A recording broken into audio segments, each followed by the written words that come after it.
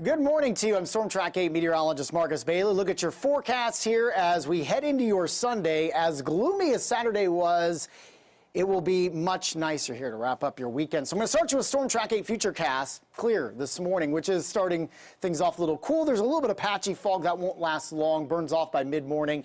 By midday, it is abundant sunshine. We will continue that trend through the remainder of the afternoon. It's going to be a great day. Uh, the temperatures will respond in kind to all of that sunshine. We'll start off again chilly, low 30s by uh, mid-morning, mid-40s by lunchtime, and we'll finish the day off into the mid-50s and just kind of a light southerly or southeast wind, around 3 to 5 miles per hour. I think everybody makes it to the mid 50s across the board. 53 Kokomo and Richmond, 55 in Shelbyville, 56 Columbus, and 57 in Bedford. Should be quiet tonight. May have a few clouds rolling in. 47 at 8 o'clock, down to 41 by midnight. We'll gradually see those clouds increase overnight. So I don't think we'll bottom out in the 20s tomorrow morning. Still cool at the bus stop, but not as cold as what we'll deal with this morning. We'll call it mid to upper 30s to start things off for your Monday morning, so it should be dry.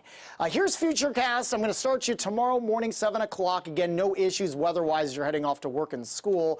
We'll continue to see those clouds increase through lunchtime. Now, as we head into the late afternoon and early evening hours, we're going to have a southern system coming in, and most recent model trends are keeping the rain in the southern third of central Indiana. This is at 7 o'clock. You see some of these showers rolling through, and that will continue late night into the overnight hours.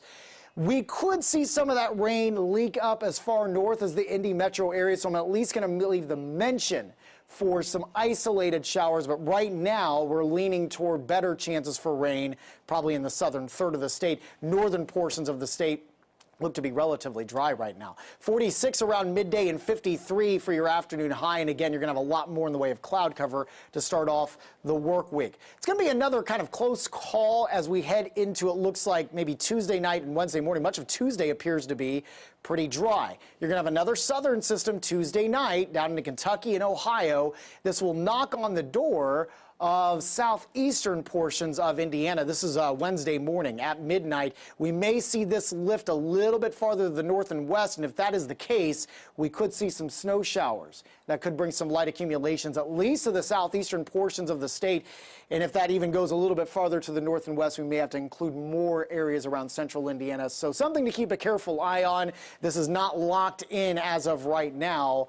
Uh, but for the time being in the Chapman cooling, uh, heating and cooling eight-day forecast, we're going to leave things dry for both Tuesday and Wednesday. That is very much subject to change. Spring officially starts at 12:15 in the afternoon on Tuesday but we're going to have some pretty cool temperatures for much of the work week 41 on Wednesday, 44 on Thursday. Next rain chance arriving on Friday, 47. That'll carry over into Saturday with a high of around 50.